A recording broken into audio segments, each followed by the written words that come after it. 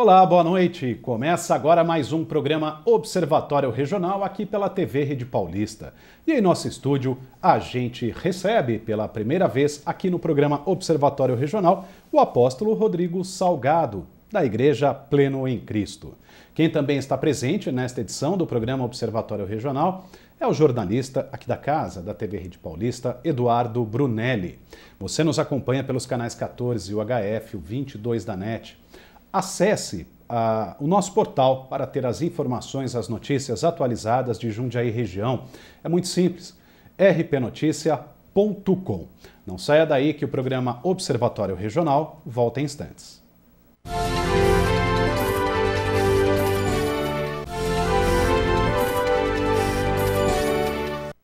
Olá, muito boa noite. Começa agora o programa Observatório Regional aqui pela TV Rede Paulista. E nesta quinta-feira a gente conversa com o apóstolo Rodrigo Salgado, da Igreja Pleno em Cristo. Apóstolo, muito boa noite. Obrigado pela presença do senhor aqui no programa Observatório Regional. Deus abençoe, obrigado pela oportunidade. É um prazer estar com vocês, esclarecendo, né, e trazendo uma mensagem do coração de Deus, aqueles que precisam esclarecendo a fundação do ministério, apresentando este ministério que tem crescido e abençoado milhares de vidas. Deus abençoe pela oportunidade nesta noite, a abertura, né, de trazer aqui um pouquinho da nossa história. Eduardo, boa noite, obrigado também pela presença aqui no Observatório Regional desta noite, desta quinta-feira. Boa noite, obrigado. Bom, apóstolo, uh, a igreja Plena em Cristo, ela tem sua sede, ela foi fundada na cidade de São Paulo, correto? Isso.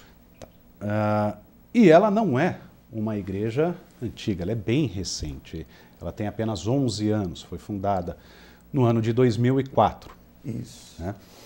E, e, e, o senhor, que foi o fundador, eu gostaria de saber uh, como é que a religião entrou na vida do senhor.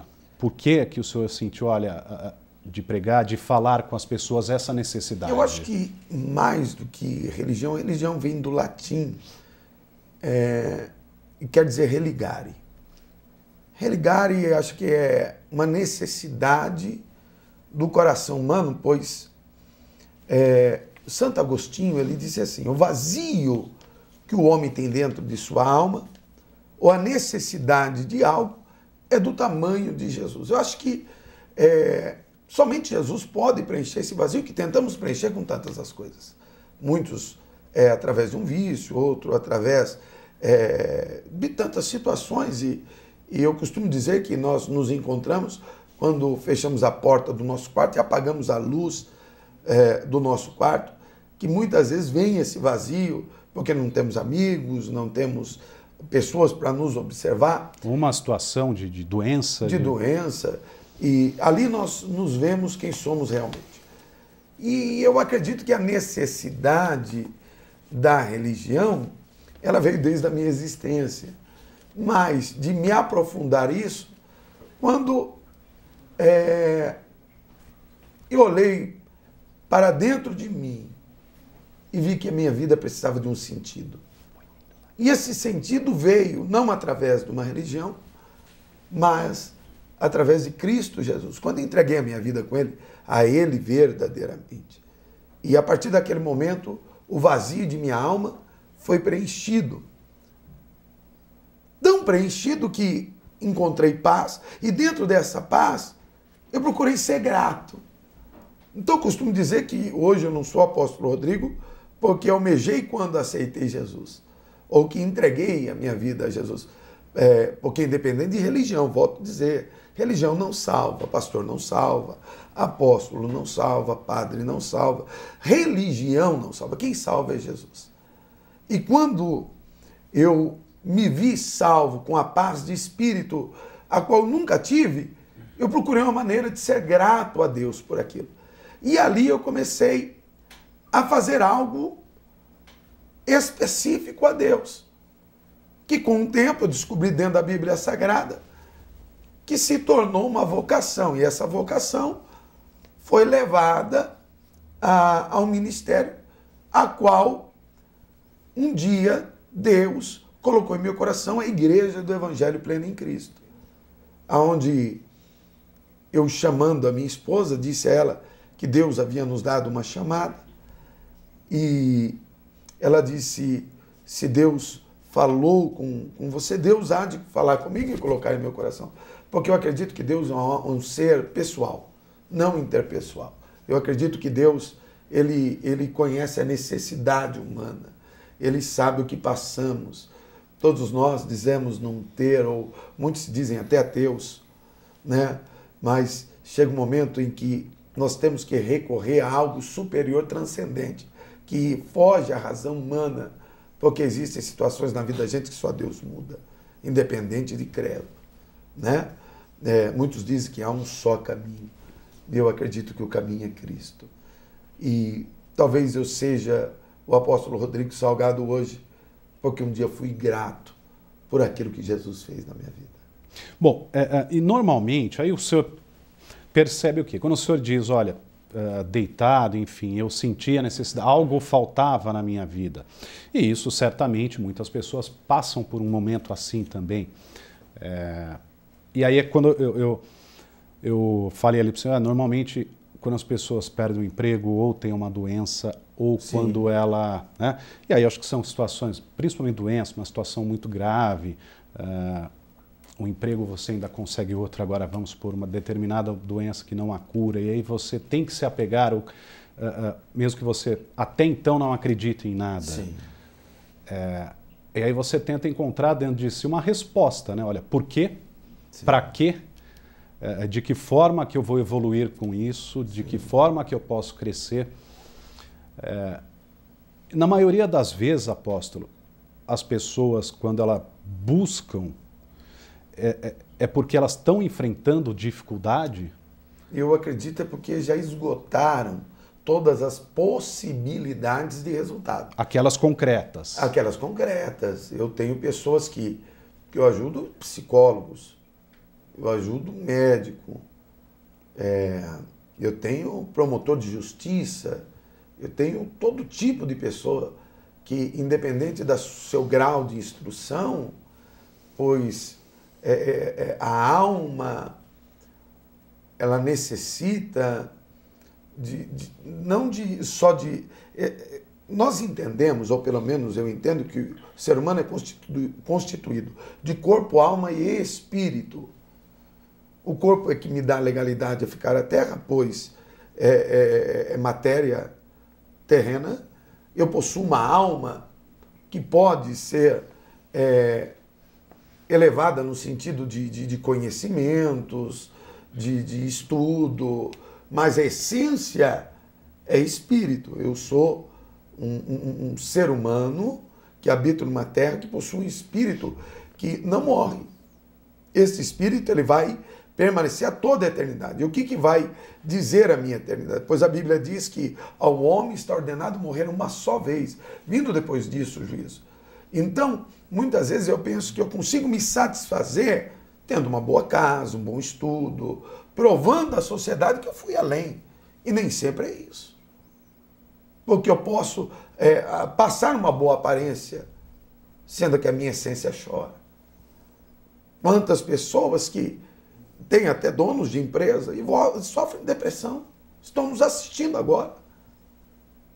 Que quando você olha pessoas até envolvidas na mídia, eu tenho um caso de pessoas que essa semana estiveram comigo e fazem, trabalham no meio televisivo e, e, e, e, confessam, diz, Salgado, verdadeiramente eu preciso de algo além porque a minha alma não é feliz, eu não sou feliz.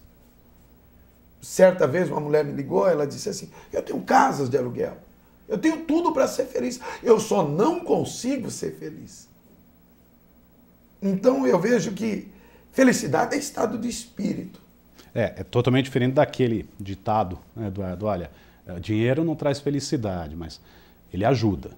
Sim. Com bens materiais, só. Mas momentos de felicidade. Porque tem gente que diz assim, eu tô ruim, vou pro shopping. Uhum. Ok, ela uhum. saiu do shopping e continua ruim. Uhum. Porque ela usou a roupa uma vez. Saciona aquele momento. Sim. Ela conseguiu um momento de prazer, um momento de alegria. É por isso que muitos brincam, dizem assim, é, e o, o cristão bebe? E o cristão fuma? E o cristão, o que ele faz para ser feliz? porque se tornou crente, agora não bebe, não, não está mais, muitas vezes, na promiscuidade em si. Né? Eu posso ser feliz sem ser promíscuo. E eu descobri que Jesus disse assim: Eu vos dou a paz não como o mundo a dá. Eu posso ser feliz sem a necessidade de um adendo que vai prejudicar a minha vida. Eu posso ser feliz, vamos usar um parâmetro básico, com a mulher que eu tenho com a casa que eu moro. Só que você já notou que de seis em seis meses se troca um carro hoje?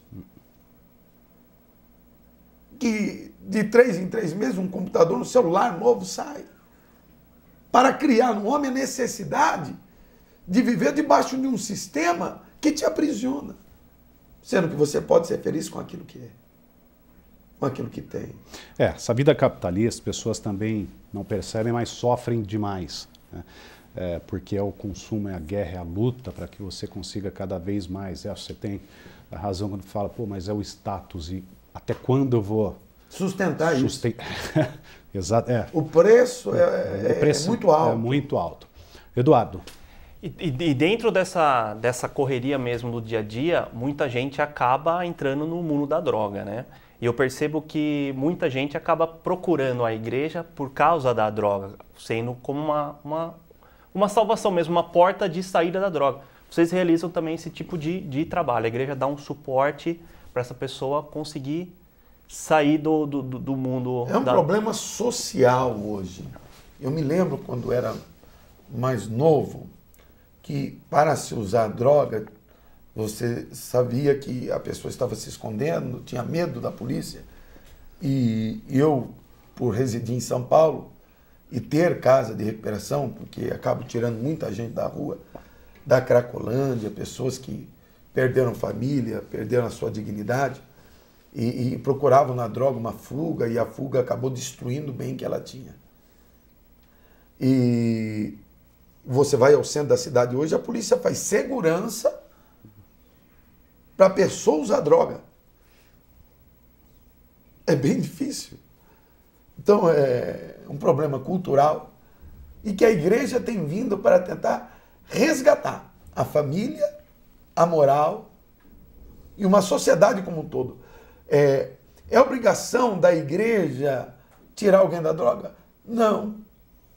É uma preocupação que deveria ser do Estado.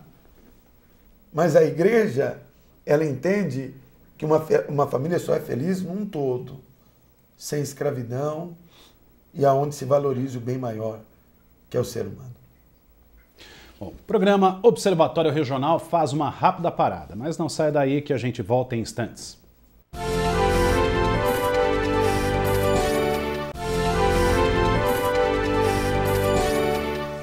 Já estamos de volta com o programa Observatório Regional desta quinta-feira e hoje, aqui no nosso estúdio, a gente recebe conversa com o apóstolo Rodrigo Salgado. Bom, apóstolo, Eduardo ele fez uma pergunta no bloco anterior, diz respeito ao apoio. Uh, na verdade, assim, a pergunta foi com relação às drogas, uh, da correria do dia a dia, uhum. então, e, é nesse, e esse é um dos casos onde a pessoa procura algum outro auxílio. Sim. Né? Enfim, seja ele psicológico, espiritual, é, algum outro tipo de, de informação, mas com que eu acho que a partir do momento que ela procura já é um primeiro caminho, um primeiro passo para que ela saia desse mundo de drogadição. Agora, para que você consiga trabalhar um indivíduo que infelizmente está hoje no mundo das drogas, a gente sabe que isso tudo é muito difícil. Não estou falando só a questão da pessoa ficar limpa, dela conseguir limpar o organismo e não ter mais essa necessidade. O custo é alto. Uh, o tratamento é muito longo, né? Porque se é de quatro, três meses, ela volta para o mundo da droga. Então é um tratamento contínuo. A gente tem exemplos, por exemplo, uh, no próprio livro do Casa Grande, que ele fala que ele ficou quase um ano internado para que ele realmente conseguisse falar e sobreviver fora da clínica sem a droga, porque o acesso é muito fácil, é muito rápido. E tem droga barata como crack. Sim. Né? Agora, um outro ponto que eu acho que é fundamental também. e talvez as clínicas não consigam trabalhar isso, porque daí também entra ah, na clínica a, questão científica, mas o trabalho da igreja daí, que eu acho que também tem sido fundamental, que é com relação ao familiar. Aquela pessoa que hoje está na drogadição, ela facilmente sai desse mundo sem o apoio da família? Normalmente não. Por quê? Pois o apoio que ele recebe é como estímulo para a mudança. E o sentido daquilo que o senhor estava dizendo, concernente, ele sair da casa de recuperação, muitas vezes voltar à droga, tem a base psicológica. Pois ele entra no quarto que ele usava droga. É. E no quarto, o guarda-roupa naquela posição vai lembrar ele. E ele a cor convive quarto, é o mesmo. O né? inconsciente né? dele vai trazer a, é, a memória como que bombardeando a mente dele de informações, porque nós temos o inconsciente como, como gavetas na, no, na nossa consciência que vai trazer lastro daquilo que vivemos. E nesse momento é, entra a participação familiar como apoio e a ressocialização. Porque o que acontece? Eu tenho pessoas que se internaram 21 vezes. Tem um menino que hoje é um pastor da minha igreja, ele ficou sete anos na Cracolândia. E depois de 21 uma internação, ele conseguiu, porque ele talvez teve, não, não que ele não teve o apoio, o apoio anterior que ele necessitava, talvez ele teve mas talvez ele se sentiu um pouquinho mais valorizado. Eu acho que é, é isso que é o mais difícil. É quando a pessoa sai e agora ela não é tratada como uma pessoa que precisa de uma oportunidade, mas uma uhum. pessoa cobrada. Uhum. E ele já se sente meio que, que sabe, aquele negócio do AA, é, um limpo por dia, né? Hoje eu estou limpo, hoje eu venci, uhum. amanhã eu vou vencer de novo. Eu acho que isso é importante não digo que não, mas acima disso, ele é um ser humano que ele precisa de uma nova oportunidade. Quer dizer, ressocialização. Isso. Esse, esse é um caminho bem difícil, né? Das pessoas aceitarem. E acreditarem, né? Porque ele já decepcionou tanto. Ele já criou tantas situações à família. Ele trouxe tantas decepções é, dentro da casa. Tem gente que vende tudo que tem dentro de casa. É. Tem gente que vende a roupa do pai, o carro da mãe, é, e de repente você dizer, filho, eu acredito em você e, e, dar 100 reais na mão dele é muito difícil. Mas talvez para ele seja tão importante. E dizer, eu não posso decepcionar de novo. Eu não posso ferir quem acreditou em, em mim mais uma vez. Isso é muito importante. Então, o papel da família é de suma importância. Nós, como é, uma clínica evangélica, eu costumo dizer que é, não trabalho com remédio, não, respeito quem trabalha. O meu medo é tirar a pessoa de uma droga e colocar em outra, e ela continuar dependente. Ela deixa uma, uma droga ilícita para ser participante de uma droga lícita, a qual ela vai, ser, ela vai ter que tomar remédio para dormir, remédio para se manter é, equilibrado durante o dia. Nada contra, mas eu acredito que ela tem que ser ressocializada como um todo dentro da sociedade. E o Evangelho tem poder de mudar. Jesus mesmo disse: Eu vos dou a paz, não como o mundo a dá. Eu vos dou a minha paz. E que paz é essa? A paz que excede o entendimento humano, que me dá consciência para poder organizar a minha vida e projetar um novo futuro.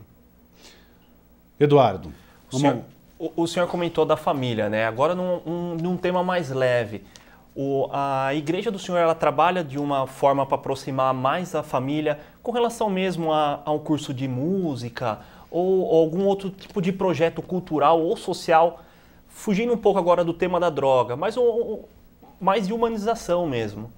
Eu acredito que o evangelho em si ele veio para aproximar. Jesus, é, quando ele, ele chama 12 discípulos, e antes de espiritualizar qualquer um deles, porque Pedro, você vai ver que a sombra dele curava, você vai ver que sinais aconteciam através do, do lenço de Paulo.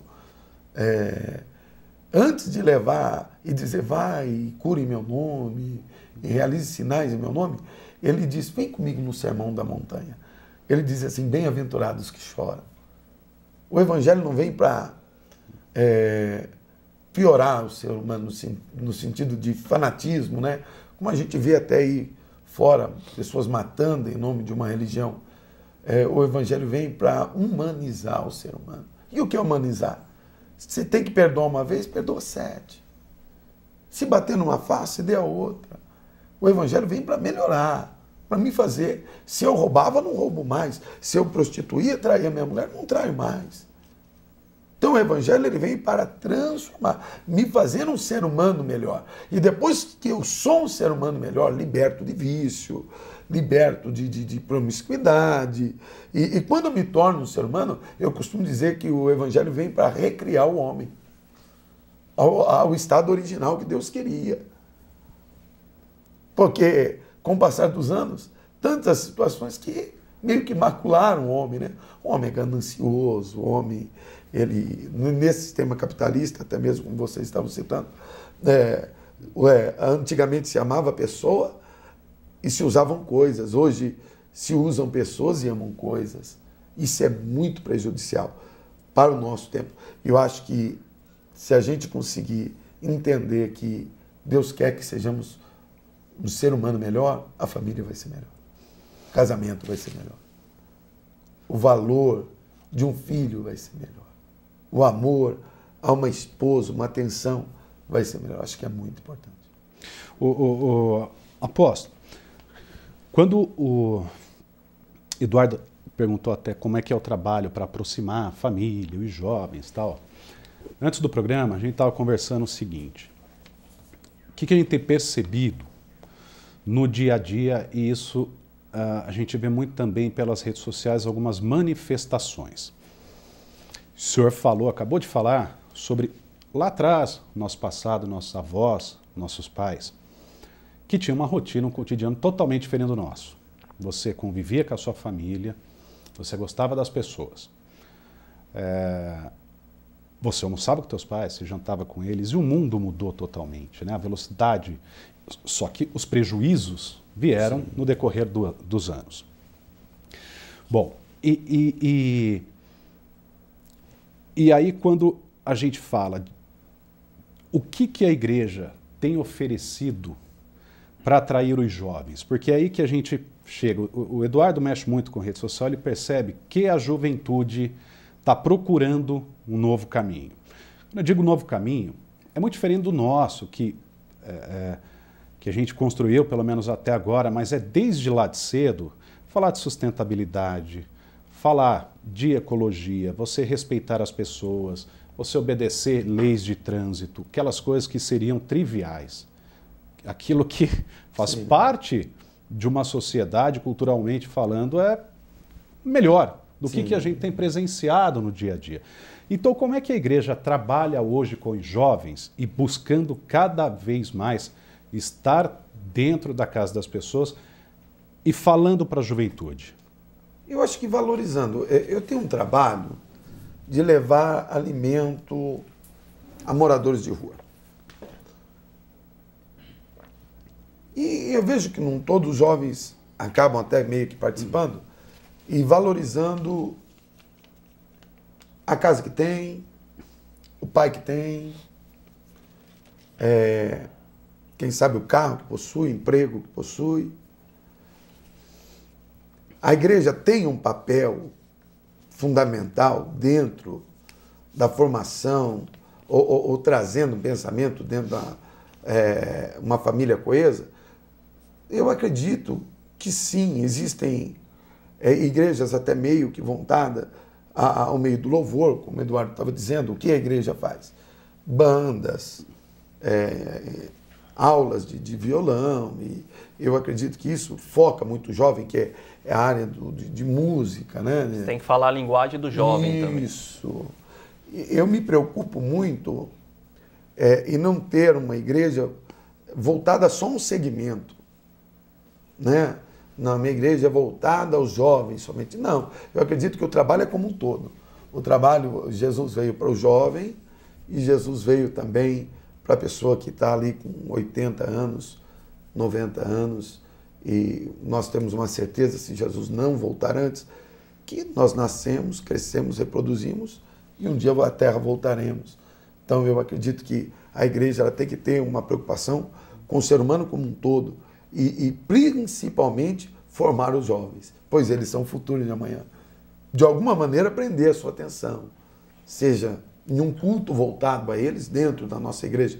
Nós temos isso, que é um culto que fala a língua deles, que vai trazer um louvor um pouquinho mais agitado, que vai estar ali os jovens procurando marcar um, um, uma saída no final de semana, é, que às vezes até brinco com eles, pô, marca hoje, é, acaba o culto e vai, vai uma pizzaria, vai comer, vai interagir, é, mostrando que podemos ser felizes, podemos ter a felicidade sem a necessidade do que ou, ou de um estímulo além, que seja bebida, droga, é, para ser feliz. E volto a dizer, felicidade é estado de espírito. Eu acredito nisso. Mas o trabalho tem que ser feito. O trabalho de, de, de, de seja uma aula de, de, de instrumento, seja é, uma reunião de, de, de, instrução a eles. Tá bom. Apóstolo Rodrigo Salgado, uh, agradeço muito sua presença aqui no programa Observatório Regional. Nosso tempo já terminou. Apóstolo da Igreja Plena em Cristo. Muito obrigado. Que o senhor volte em outras oportunidades. Boa noite. Boa noite, obrigado. Deus abençoe a todos. Eduardo, obrigado também pela presença, pela participação no programa desta noite. Obrigado, Leandro. Uma boa noite. Termina aqui mais um programa Observatório Regional pela TV Rede Paulista. Muito obrigado pela sua audiência, pela companhia. A gente se vê na próxima semana. Até lá.